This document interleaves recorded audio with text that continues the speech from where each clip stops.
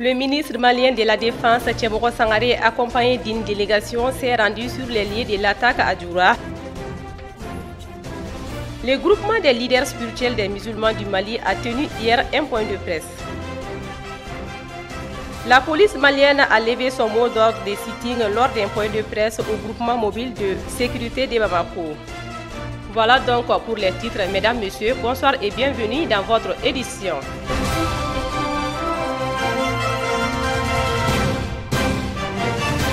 Après l'attaque du camp de l'armée malienne à Djoura, dans le centre du pays, le ministre malien de la Défense, Tchemoro Sangaré, accompagné d'une délégation, s'est rendu sur les lieux. Il a aussi adressé aux troupes en leur disant « Vous n'êtes pas seuls, tous les Maliens épris de paix vous soutiennent ». Le ministre malien de la Défense, Tchemoro Sangaré, à la tête d'une délégation, s'est rendu sur les lieux de l'attaque de Djoura. Sur les images officielles, on voit le ministre malien de la Défense, Tchemoro Sangaré, un civil habillé en tenue militaire. Il est accompagné de hauts gradés, notamment du chef d'état-major général des armées. Un représentant de la mission de l'ONU au Mali, MINUSMA, est également du voyage. En silence, le groupe se dirige devant les tombes des 23 militaires tués en défendant la patrie dans la même ville de Djoura. Moment de recueillement, grade, grade émotion un officier semble même essuyer une larme. Ensuite, le ministre malien de la Défense s'adresse aux troupes. Vous n'êtes pas seuls. Tous les Maliens épris de paix vous soutiennent, affirme-t-il avant de poursuivre. N'écoutez surtout pas les chants des sirènes dont le seul but est de déstabiliser le pays. Il a également promu le renforcement des capacités militaires sur le terrain. Après les militaires, la délégation officielle a rencontré les civils de la localité de Djoura. Et là, comme dans d'autres villes maliennes, les populations ont rappelé qu'elles soutenaient les forces armées malienne face à l'ennemi. Les nombreux militaires portés un moment disparu après l'attaque sont bien vivants. Aucun d'eux n'a été pris en otage. Par ailleurs, 17 militaires blessés ont été évacués. Le groupement des leaders spirituels des musulmans du Mali a tenu hier mardi 19 mars 2019 un point de presse pour informer l'opinion nationale et internationale sur la date de la restitution de la tournée que le groupement a effectuée à l'intérieur du pays. Le groupement des leaders spirituels invite les musulmans ce 30 mars prochain au Palais des Sports à Amdalay Assei. L'intervention du vice-président du groupement Tcherno Adi Cham. Vous n'êtes pas sans savoir que le 13 et le 14 mai 2018, le groupement des leaders spirituels musulmans du Mali a organisé un grand forum pour la stabilité et la citoyenneté au Mali. Après le forum, nous avons sillonné toutes les régions du Mali, des Cailles jusqu'à Tombouctou, pour la restitution des recommandations et les résolutions sorties de notre forum. Et aujourd'hui, nous sommes en train de préparer la restitution du district de Bamako qui aura lieu le 30 mars 2019. Mais avant le 30, à partir du 29, nous avons souhaité réunir tous les imams, tous les Maliens autour du Saint-Courant pour une lecture coranique pour la bénédiction, pour nous-mêmes et pour notre pays. Et qui sera clôturé dans l'après-midi du vendredi par une wazifa. Cela veut dire toujours la bénédiction. Donc, la restitution de Bamako est prévue pour le 30 à partir de 9h jusqu'à 14h. Le 30 mars 2019. Au Palais des Sports. Les invités maintenant, c'est les grandes familles maraboutiques, des Cailles jusqu'à Tombouctou, jusqu'à Kidal. Ils seront tous là avec les représentants du groupement des leaders spirituels musulmans du Mali dans les régions. Il y aura trois jusqu'à cinq représentants de chaque région du Mali, plus les présidents du district de Bamako.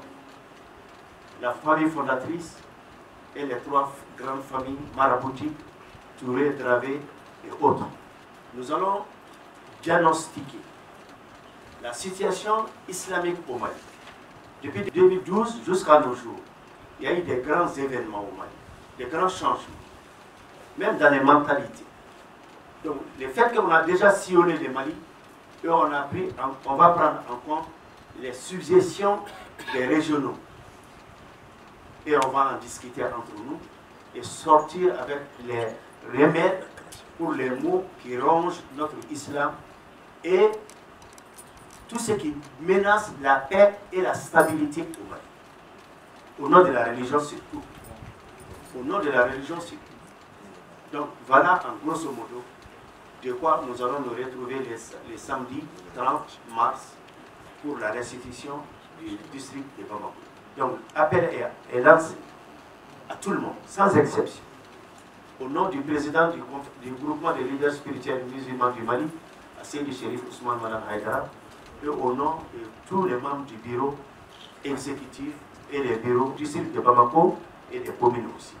La police malienne a levé son mot d'ordre de sitting lors d'un point de presse au groupement mobile de sécurité GMS de Bamako. Animé par la coordination des syndicats de la police, selon les policiers, certaines doléances sont déjà résolues et d'autres sont en cours de règlement définitif. Soumou Yatara.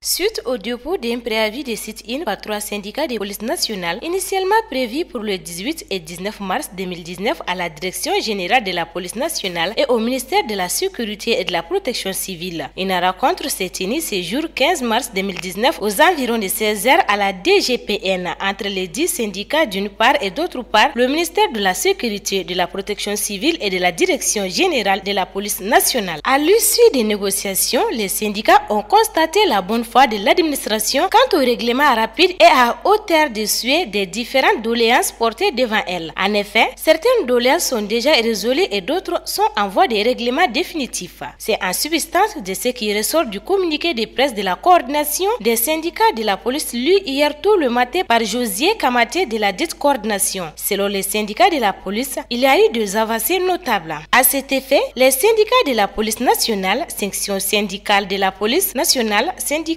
national de la police et l'Alliance pour la police nationale ont félicité le ministère de la Sécurité et de la Protection civile ainsi que la Direction générale de la police nationale pour leurs engagements à appuyer et à assister la police nationale et les fonctionnaires de police. Nous décidons de suspension du mot d'ordre du sit-in et restons ouverts au dialogue social pour le bien-être de la police et des fonctionnaires de police. Ainsi, nous remercions toutes les personnes et ressources qui ont œuvré sans relâche pour l'établissement d'un échange avec les autorités en de parvenir à des mesures mutuellement agréées pour préserver et renforcer la confiance entre les parties, a conclu Josier Kamati. Pour sa part, le sergent-chef de police Jean-Antoine Samake, porte-parole de la coordination des syndicats de la police nationale, a précisé les points de satisfaction. Les satisfactions sont entre autres la signature du décret portant modification de la grille des policiers. L'État nous a octroyé 10 points en plus de ce qu'on a. La continuité de la dotation des éléments du GMSMO en armes individuelles puisque qui parle de policier parle de sécurité en ce moment, le policier lui-même doit être sécurisé d'abord à travers une dotation complète. Le plan portant la construction de GMCMO à Tomoktu ainsi qu'à Gaou. La mise à la disposition des unités de police de Bamako pour emploi des éléments de la section musique, les 44 brousses octroyées par la Russie aux polices africaines, notamment à la police malienne pour la formation en Russie pendant 4 à 5 ans. Nous osons dire qu'il y a eu une satisfaction autour de ces le mot d'ordre est suspendu jusqu'au nouvel ordre. Nous continuons les négociations avec l'administration, a conclu Jean-Antoine Samake. Nicolas Normand, l'ancien ambassadeur de France au Mali, n'a pas porté des gants pour dénoncer le double jeu de la France dans la crise du nord du Mali. Cette interview a suscité une levée des boucliers au sein de la CEMA. Bakari Moussa Ari Maïga.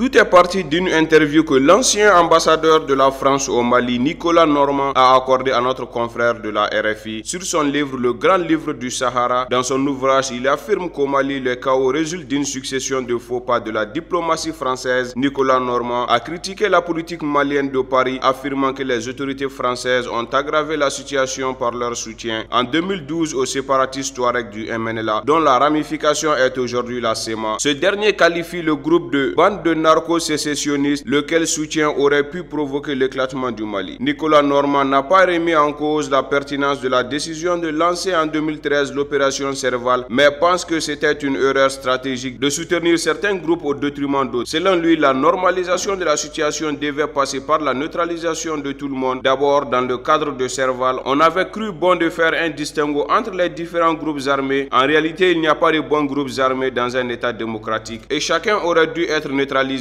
ou au moins contraint à un désarmement immédiat, soutient Nicolas Normand. L'ancien diplomate français estime ainsi que c'était particulièrement une erreur d'avoir favorisé considérablement la faction Touareg sécessionniste, quasi réduite à néant sur le terrain au détriment de Bamako, des autres factions Touareg non sécessionnistes et des autres communautés non Touareg, pourtant majoritaires dans les nord maliens pour lui, l'appui français aux Ifogas sécessionnistes a suscité la création de groupes armés Touareg pro-Bamako et aujourd'hui ces deux factions ne cessent de s'affronter notamment pour le contrôle de Kidal et sa région. Dans une lutte de caste doublée d'une concurrence pour le narcotrafic, le diplomate a même ajouté que les Ifogas, la haute classe mais ultra minoritaire, traîneraient les pieds dans la mise en œuvre de l'accord dont l'aboutissement est la tenue des élections qu'ils ne pourront jamais gagner. C'est surtout cette dernière affirmation qui a provoqué l'ire des membres de la SEMA qui disent ne pas comprendre comment peut-on mettre en doute leur volonté d'aller à l'application de l'accord pour la paix et la réconciliation pour laquelle ils se battent depuis plus de 4 ans. En somme, au-delà de l'interview et de la réaction de la SEMA, ce livre lève un coin du voile, celui du double jeu de la France dans la crise malienne. Il interpelle tout patriote à s'interroger sur la raison de la présence de la communauté internationale aux côtés du Mali et surtout celle de la France qui brime la majorité du peuple au détriment d'une infirme minorité. Suivons l'actualité internationale.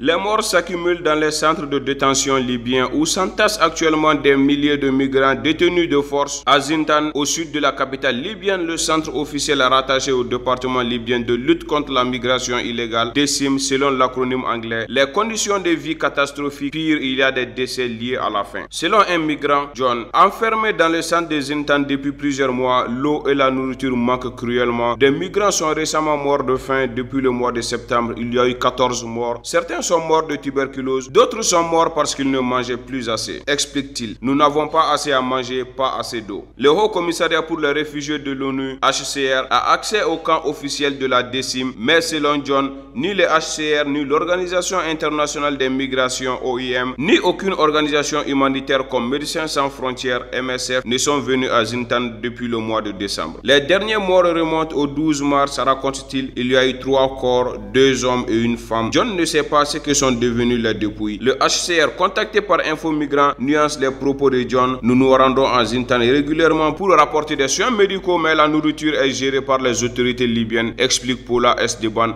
la porte-parole du HCR en Libye. Nous ne sommes pas en charge de cela. Les photos reçues par Info Migrants sont particulièrement éprouvantes. On y voit des corps décharnés et des visages émaciés. Selon Julia Tranchina, une avocate spécialisée dans l'asile, ces famines sont délibérées. Elles servent de punition aux migrants, explique-t-elle. Il existe plusieurs centres de détention dans le pays où les privations de nourriture ont cours, pas seulement à Zintan. En effet, dans le camp de Fouraji Seba à Tripoli, des migrants ont affirmé avoir tenu presque une semaine sans nourriture, selon Julia Tranchina. À Fouraji Seba, les gardiens avaient affirmé n'avoir pas les moyens de les nourrir. À Zintan, comme dans les autres centres de détention, il est presque impossible de recenser tous les décès. L'ONU a expliqué ne pas avoir accès au registre des victimes tenu par les autorités du pays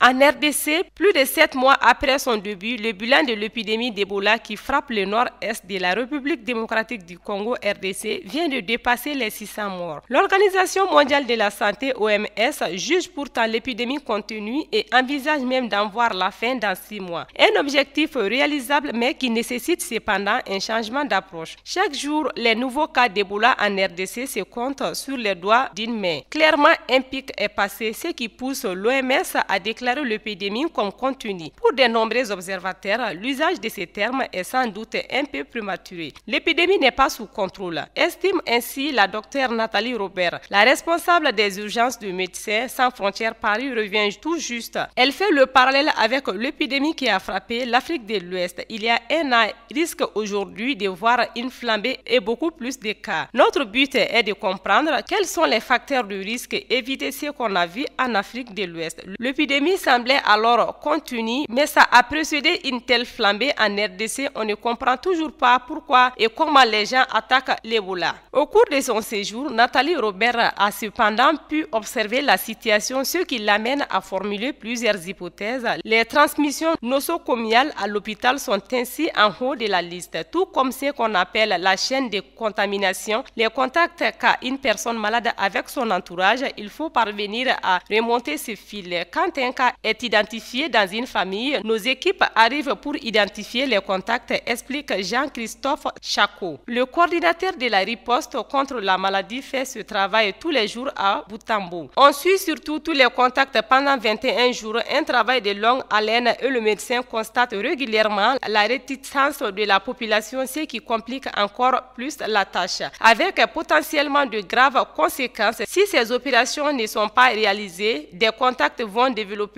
la maladie, c'est ce qui nous cause des problèmes maintenant. Mais la fin de l'épidémie est donc envisageable. Il faudra cependant passer outre le risque sécuritaire dans cette région. Il y a des conflits armés depuis de nombreuses décennies et les communautés sont toujours prudentes, poursuit le patron de l'OMS qui met en garde contre le risque que l'épidémie reparte à la hausse si la situation sécuritaire continue de se détériorer.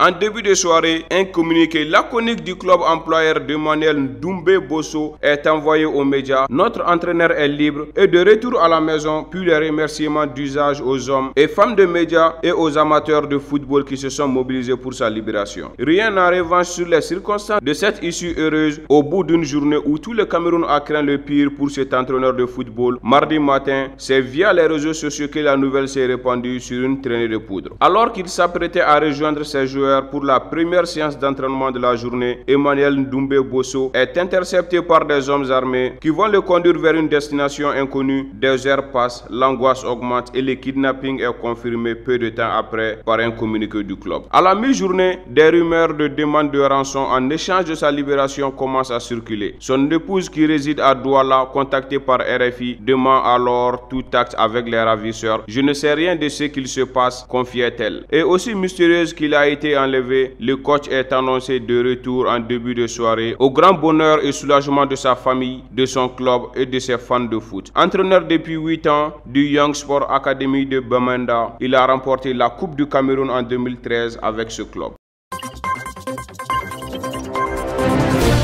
Les derniers djihadistes du groupe État islamique tentaient désespérément mardi 19 mars de défendre les derniers hérédits de leur califat à Bangouzo, dans l'est de la Syrie. Une percée notable des forces démocratiques syriennes a rempli proche la fin d'une offensive lancée en septembre. Mais la coalition arabo-kurde soutenue par Washington n'a pas encore proclamé la victoire. Les derniers combattants du groupe État islamique mènent un combat désespéré dans une bade étroite de quelques centaines de mètres carrés acculée à la rive orientale de par petits groupes isolés, ils continuent d'harceler les forces démocratiques syriennes, les FDS, qui les encerclent de trois côtés. La coalition arabo-kurde, appuyée par les États-Unis, a pris le camp de fortune qui abritait la dernière base de l'aile et s'emploie à la ratisser. C'est une tâche dangereuse vu les nombreux tunnels trachés et creusés par les djihadistes. Selon l'Observatoire syrien des droits de l'homme, ceux qui résistent toujours sont des boutistes qui ne comptent pas se rendre. 12 djihadistes sur le point d'être capturés mardi ou maca des munitions ont préféré se faire sauter en actionnant des ceintures ou des vestes explosives à l'approche des assaillants. Ces dernières 24 heures, 1000 combattants de l'aile, dont des dizaines de blessés et de malades, ont été capturés ou se sont rendus. Selon l'Observatoire syrien des droits de l'homme, cela porte à 8300 le nombre de djihadistes faits prisonniers depuis décembre, auquel il faut ajouter plus de 55 000 civils. Le nombre de combattants qui continuent de résister n'est pas connu avec exactitude. Quelques dizaines tout au plus en majorité des Irakiens et des étrangers.